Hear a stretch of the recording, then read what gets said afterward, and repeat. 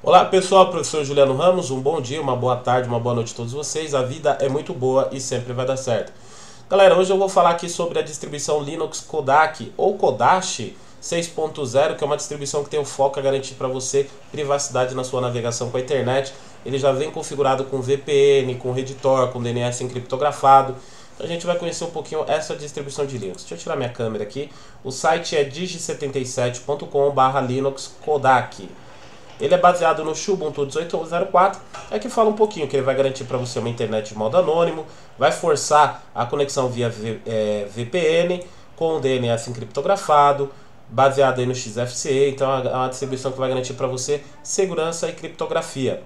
É, o motivo também de eu, de eu estar abordando essa distribuição é que eu estou desenvolvendo um curso de segurança e análise forense que vai fazer parte do nosso pacote. Hoje nosso pacote já está com 17 cursos, inclusive nós temos já o curso de Firewall com IP Tables com técnicas avançadas. Então é só acessar lá o certificaçãonet.br. O pacote custa R$ 249,99, você pode parcelar no cartão em até 12 vezes. E você vai ter acesso a todos esses cursos é, do pacote e os cursos que é, forem sair esse ano. Então comprou o pacote agora, todos os novos cursos vocês também têm acesso. Além disso, nós temos aí o curso online ao vivo, que vai iniciar agora dia 9 do 3, vão ser aulas aos sábados, das 9 da manhã às 13 horas. As aulas vão ser gravadas também, então se você perder algum sábado não tem problema que você pode fazer, assistir a aula, tá? É, é muito conteúdo esse curso e o valor é bem razoável, 100 reais que você pode pagar via depósito bancário ou 145 reais via parcelamento, ok? Então é isso aí, galera. É, dá tempo ainda de vocês fazerem esse curso, que é o curso de Engenharia Linux. Vamos lá conhecer um pouquinho dessa distribuição. Na verdade, eu já até criei a máquina virtual, vou subir aqui pela primeira vez para vocês. Então aqui é a tela do, do Linux Kodak, acabei de fazer o boot. Essa é a tela pós-boot dele, ele roda via live, tá? Então deixa eu melhorar aqui essa resolução do monitor, porque senão a gente não vai conseguir ver nada aqui, né? Então vamos lá, é, settings e vamos ver se a gente acha que é display. Tá 800 600 aí não dá, né? Vamos colocar aqui uma resolução melhor. Deixa eu colocar aqui um 1300, vamos ver como fica. Bom, bem melhor, né? Muito bem. Então, o que, que tem interessante essa distribuição? Como eu disse, é uma distribuição que tem o foco, segurança, você navegar de forma anônima. É, essa é a primeira tela após o boot. Ele vem com várias ferramentas também da, de segurança da informação. Provavelmente eu vou fazer outros vídeos depois explicando algumas dessas ferramentas com calma aí, né? Então esse, esse primeiro vídeo vai ser mais um vídeo de amostra dessa distribuição e para que vocês é, conheçam mais essa distribuição que permite a você navegar de forma anônima, o que é bem interessante.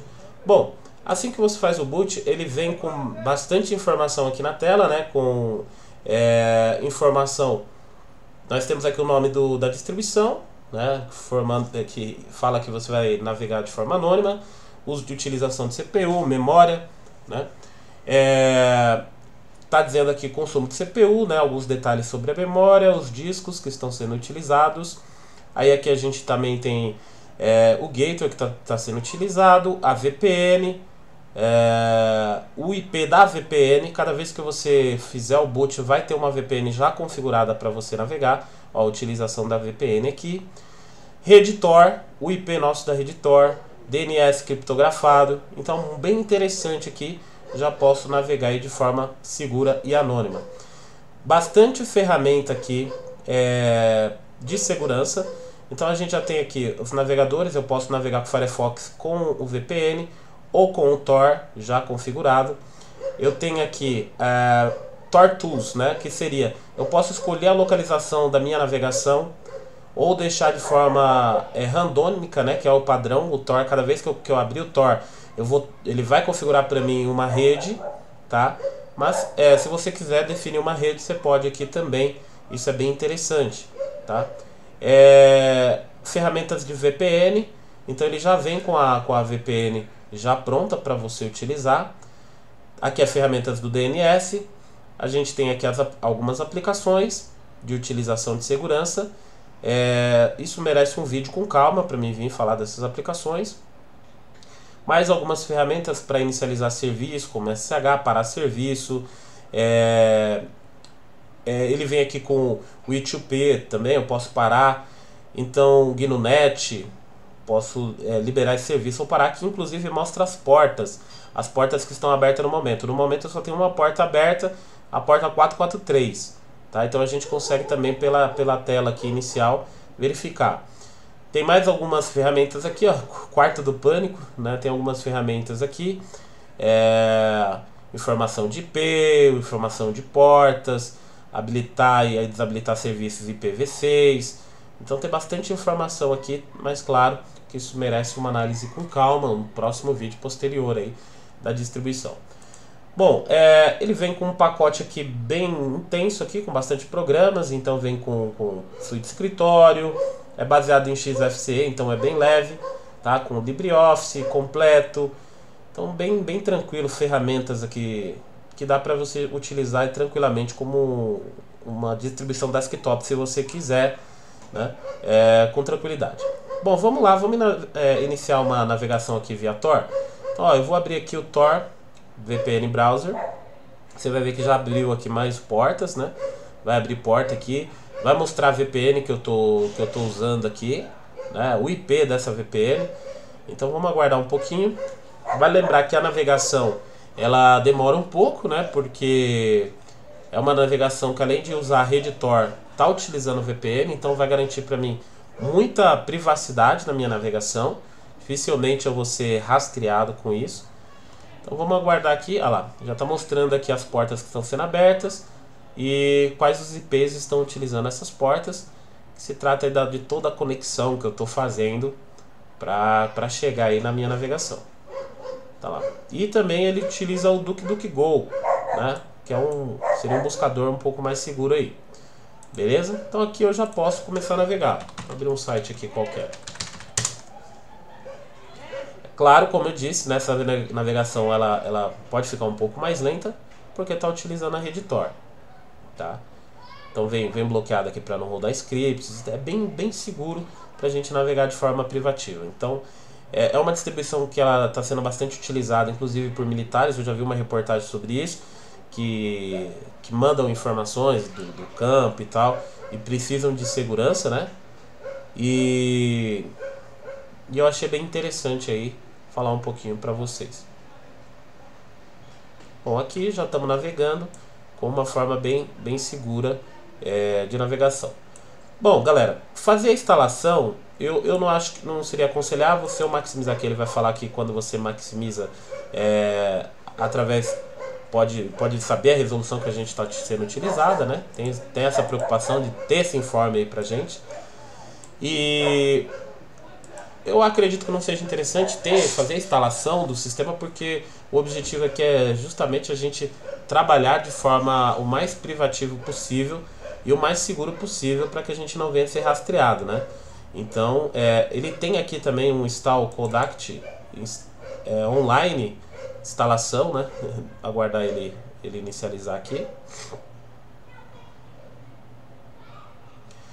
Está parando a VPN. Está desabilitando a VPN. É, tá desabilitando o Firewall e está iniciando o processo de instalação. Então todas as, as mensagens elas vêm na tela com esses alertas. É bem interessante porque você fica sabendo tudinho que está acontecendo e aí ele vai carregar aí o processo de instalação. O que eu já não acho algo interessante fazer com esse tipo de distribuição, porque o objetivo dela aqui é bem claro, que é, é ser uma distribuição para garantir para você segurança. Então, a distribuição que é interessante você ter no seu pendrive quando você for para qualquer tipo de estabelecimento, como uma LAN house, etc. Ou é, ter uma máquina virtual caso você vá fazer alguma navegação que te exija ter privacidade e que você quer ser realmente de fato anônimo enquanto você estiver fazendo esse tipo de navegação.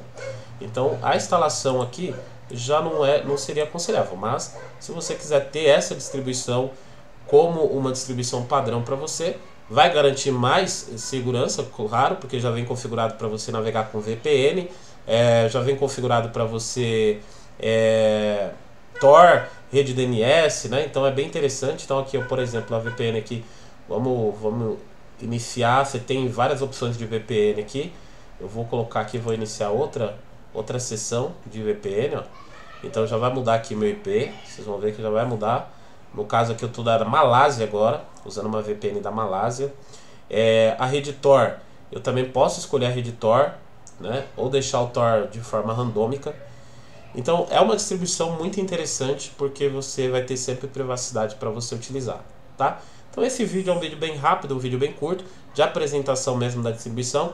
Depois eu posso vir trazendo mais alguma informação porque eu aproveitei para mostrar para vocês que ele vai, ele vai fazer parte do curso de segurança que eu estou falando, que eu estou desenvolvendo.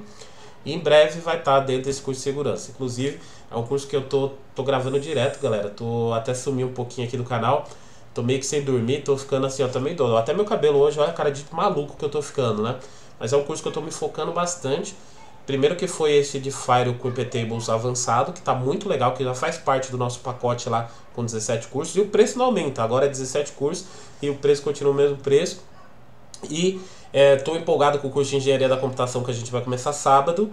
E então eu queria falar um pouquinho dessa distribuição para vocês. Pessoal, não perca tempo, vem estudar com a gente, fazer o curso de Engenharia da Computação ou fazer o comprar o pacote com todos os cursos que logo logo vai ter curso de segurança, vai ter coisa interessante que tá chegando aí, galera. Vai valer muito a pena.